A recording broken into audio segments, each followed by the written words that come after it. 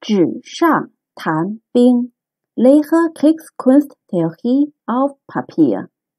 Es war einmal ein für militärische Theorie begabter junger Mann namens Zhao Kuo aus dem Zhao-Reich. Er lernte seit seiner Kindheit die Kriegskunst, hatte fast alle bekannten Fachbücher seiner Zeit gelesen und konnte über die Kriegskunst wie ein Wasserfall reden so dass sein Vater, ein sehr berühmter General namens Zhao She, bei Debatten keine Gegner für ihn darstellte. Für sein hohes Talent war Zhao Kuo landesweit bekannt. Als Zhao Kuo circa 20 wurde, brach ein jahrelang großer Krieg in Changping zwischen dem Qin und Zhao Reich aus, den zwei militärisch stärksten Reichen. Beide Reiche haben, hatten sehr viel in ihre Militärkraft und ihre Getreidereserve investiert. Fast, fast zwei Jahre standen sich die beiden Reiche gegenüber.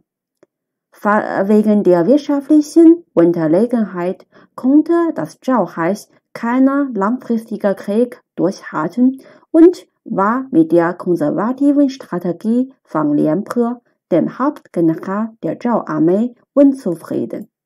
Zhao Kuo sollte daher ersetzt werden. Das Qinreich versuchte auch durch Spionagetätigkeit den Plan voranzutreiben. 260 v. Chr.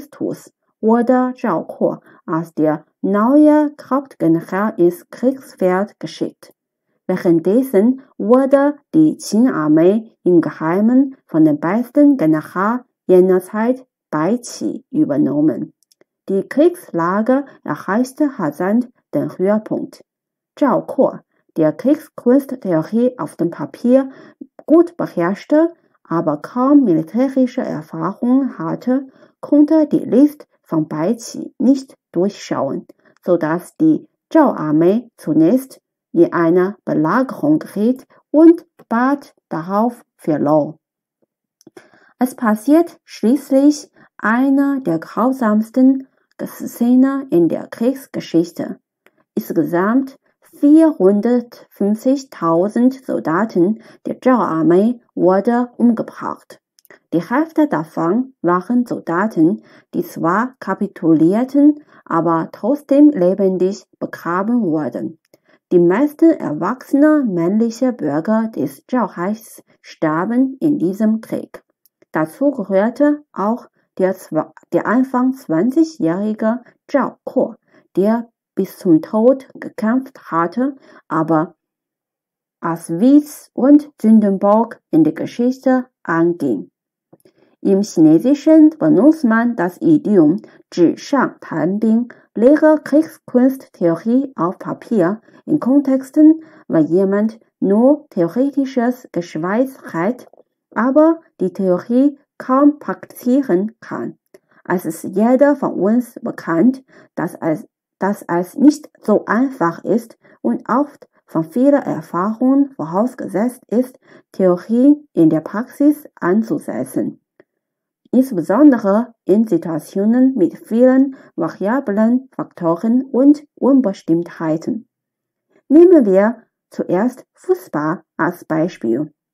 Während der WM- und EM-Zeit können wir in Deutschland viele Kritiken über die angewendeten Strategien von Jogi Löw hören.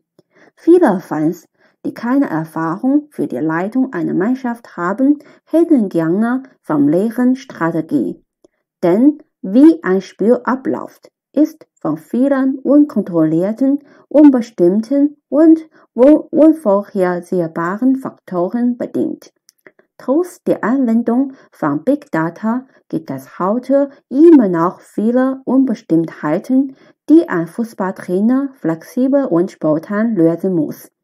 Wir analysieren oft nach dem Spiel die angewendeten Spielkunsttheorie, ignorieren aber die Schwierigkeit von Jogi Löw, der situationsgemäß auf vielfältige Details eines Spiels reagieren muss. als ein kleines Beispiel, das sich aber auf die Probleme von Zhao Kuo vor 2300 Jahren übertragen lässt. Meiner Meinung nach ähnelt Zhao Kuo vielen klugen jungen Absolventen von heute, die gut theoretisches Wissen beherrschten, aber weniger praktische Erfahrungen haben.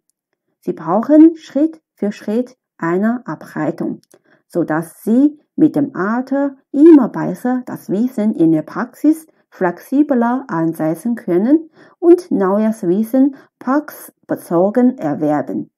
Die Tragödie, die Tragödie von Zhao Kuo lag vor allem darin, dass er ohne genügend Ableitung auf einer der wichtigsten Stellen berufen wurde, für die er noch nicht kompetent genug war. Für den jungen Zhao Kuo der hauptsächlich aus Büchern den Krieg kennengelernt hatte, bedeutete Krieg ein theoretisches System auf Papier. Ein Krieg ist dem hingegen der eigen, aber eigentlich eine variationsreiche, komplizierte und ernste Kampfsituation, die, die über Tod und Leben von Tausenden oder Millionen Soldaten entscheiden kann. Diese historische Begebenheit mit hunderttausend Opfern erinnert uns an die Wichtigkeit des Praxisbezugs. Die Kompetenz, die Praxis zu erkennen, vernünftig zu analysieren und gelassen und flexibel einen Plan durchzuführen, ist für das Wachstum einer Person und einer Gesellschaft sehr entscheidend.